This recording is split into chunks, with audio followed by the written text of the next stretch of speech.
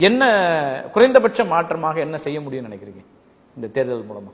இல்ல மாற்றம் நான் போற்றிடுறதே பெரும் மாற்றம் தான். என்னடா குழப்புறா?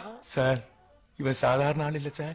கண்டினியூ பண்ணுங்க. என்றாவது ஒரு நாள் நீங்கள் பெரிதும் மதிக்கக்கூடிய திரு பிரபாகரன் இந்திய அரசு அல்லது ராஜீவ்காந்தி தான் எங்களுக்கு எதிராக இருக்கிறார் இதெல்லாம் செய்திருக்கிறார் அப்படின்னு ஏதாவது ஒரு இடத்துல அல்லது ராஜீவ் அவர் உயிரோடு இருந்த வரைக்கும் ராஜீவ்காந்தி அவருடைய படுகொலை என்பதை அவர் என்றைக்காவது நாங்கள் தான் செய்தோம் அப்படின்னு சொல்லியிருக்காரு. அது ஒரு நிகழ்வு அப்படின்னாரு. ஆனா அதுக்கான அவசியம் வந்து அவருக்கு ஏற்படல.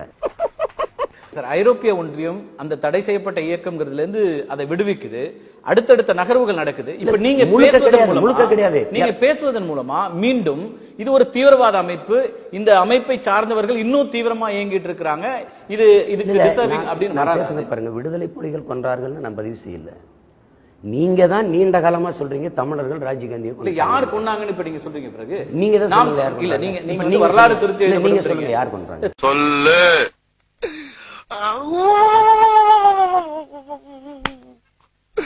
இன்னைக்கு என்னெல்லாம் பண்ண போறாரோ? இப்ப இப்படி பேசுறதுனால என்ன தீர்வு வந்துரும் நினைக்கிறார் திரு சீமான் சரி இப்படி பேசாதனால என்ன தீர்வு வரும்?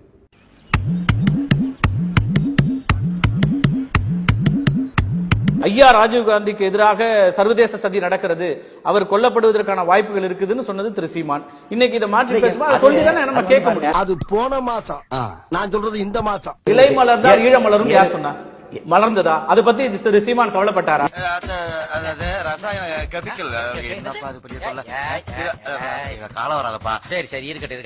அம்மையார் ஜெயலலிதா மட்டும்தான் நான் ராணுவத்தை அனுப்பி ஈழம் அடைவேன்னு சொன்னாங்க. அப்ப சண்டை நடந்து கொண்டு இருந்தது அப்ப ஆட்சிக்கு வந்த பிறகு ராணுவம் அனுப்ப முடியுமா? ஒரு மாநில முதலமைச்சர் ராணுவத்தை அனுப்ப முடியுமா ஏங்க நான் பிரதமரா வருவேன்னு தான் அவங்க சொல்றாங்கல்ல.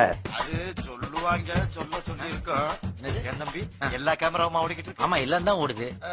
சரி? சரி அடுத்த கேள்வி அந்த வார்த்தை தோல்ல கை வச்சு ஆறுதல் சொன்ன மாதிரி இருந்ததுனால நாங்க பேசணும் ஏன்டா இப்படி பேசினான்னு பேச இருக்க வேண்டியது எங்க தலைவர் அங்கிருந்து இயக்கத்துல தினம் என்னோட தொடர்பு எடுத்து இரவுல பேசினவங்க பேசியிருக்கணும். அது அவங்களே ஒண்ணும் சொல்லல. இது எங்க தலைவர் அங்கிருந்து இயக்கத்துல தினம் என்னோட தொடர்பு எடுத்து இரவுல பேசினவங்க தினம் என்னோட தொடர்பு எடுத்து இரவுல பேசினவங்க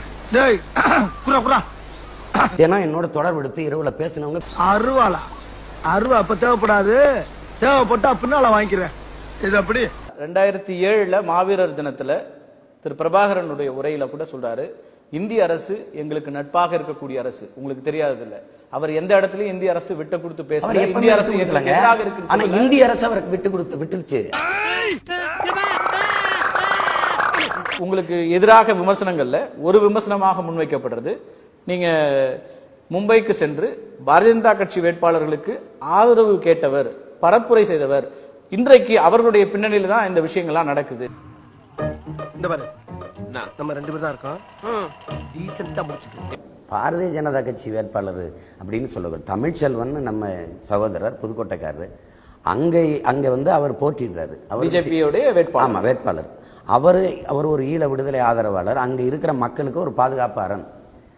அங்க போய் என்னுடைய மேடையில அவங்க கட்டியிருந்த கொடியெல்லாம் எடுத்துட்டாங்க. என்னுடைய மேடையில அவரை ஏத்தி இவருக்கு வாக்கு செலுத்துங்கன்னு புகைப்படங்கள்ல அவங்களுடைய கொடி அவர்களுடைய க- கட்சி அவர்களுடைய பின்னணியோட தான் புகைப்படங்கள்லாம் இன்னைக்கு இருக்கு. அது வேற வாயி. இது நார வாயி.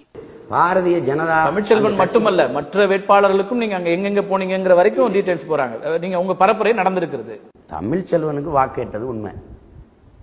அது சும்மா ஏதாவது சொல்லிட்டு இருப்பாங்க. கூடுதலாக அந்த என்னென்ன தொகுதிகள் நான் வேணா பட்டியல் சொல்றேன். எங்கெல்லாம் நீங்க கூட போனீங்க அப்படின்னு சொல்லி எப்ப ஒரு பேச்சுக்கு அங்க வாங்க வாட்டுனா உடனே சொன்னதுக்கு நான் சரி வந்து பீதிய கிளப்பலாம் என்னப்பா நியாயம்? ஆஜிபதி வர ஆஜிபதி அதிமுக வேணாப்பா ஒன்லி பாடி லாங்குவேஜ் தான்ப்பா. உள்ள ஒண்ணு கிடையாதுப்பா. நீ நினைக்கிற அளவுக்கு நான் ஒண்ணும் பெரிய பயிற்று கிடையாதுப்பா. ஒன்லி பில்டப்புப்பா என்ன சண்டைக்கு வர்றையா? தெரியுதுல்ல? மண்ட பத்திரம்